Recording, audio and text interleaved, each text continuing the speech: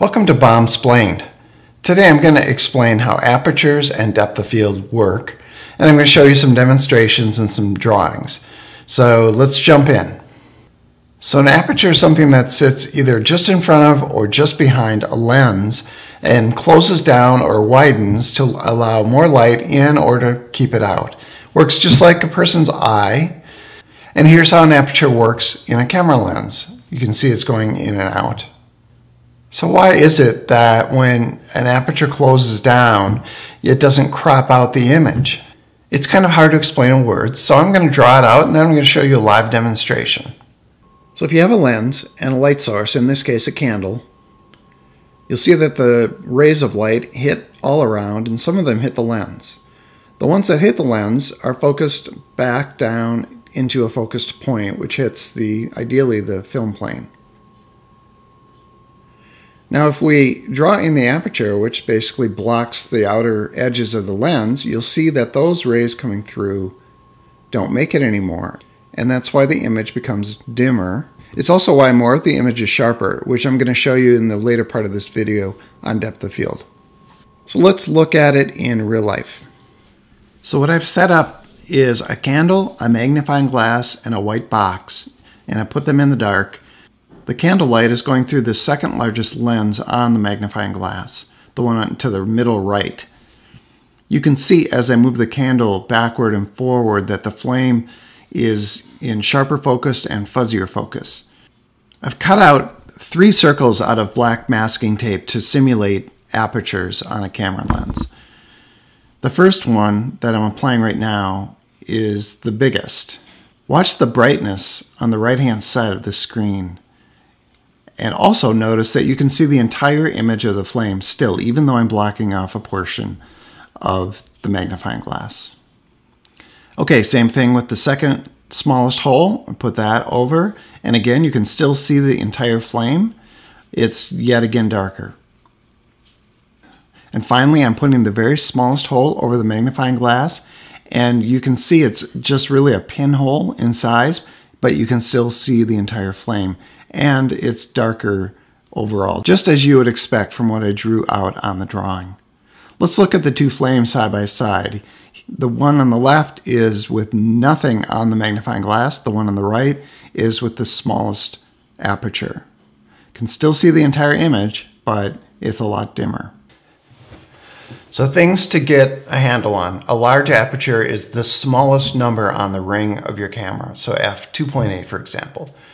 So that's a wider aperture. Um, it's a wider cone from the lens to the focus area to the light source. Smaller aperture is f32, for example. It's the largest number in the ring, but if you look at the actual aperture while you have it set that way, it's the smallest opening. So first of all, it would be really convenient if the nerds that determined the f-stop numbering system hadn't made the smaller number the widest aperture and the larger number the smaller aperture. And just no matter how long I've done this and done photography, I have to stop and think about that and make that mental conversion.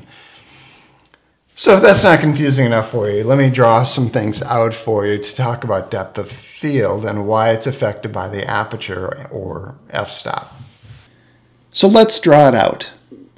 Let's say you have two identical lenses, one set to a large aperture and one set to a small aperture. We'll draw the visible light coming into each lens in red. You can see that the light enters at the same angle. Then if we draw the cone of light being allowed past the aperture in dashed black lines, you'll see that the larger aperture on top, which is using more of the lens to allow in light, has a wider angle down to the focus point, where the two black dashed lines cross. The small aperture on the bottom lens creates a more acute angle, which means it intersects the visible light much farther away. Where the black dashed lines intersect the red is where the image will be in perceived sharpness. You can see that the larger aperture has a much narrower depth of field than the smaller. Another way to think about it is that the top lens, with its more open aperture, is bending more rays of light at sharper angles, and those rays coming in from the periphery of the lens are more distorted or blurry. The narrower rays being allowed past the smaller aperture are straighter and therefore more representative of the entire scene in focus. Here's a grid that might help. And remember, the reason the f-stop number seems to be larger when in fact the opening is smaller is because it's the denominator of a fraction.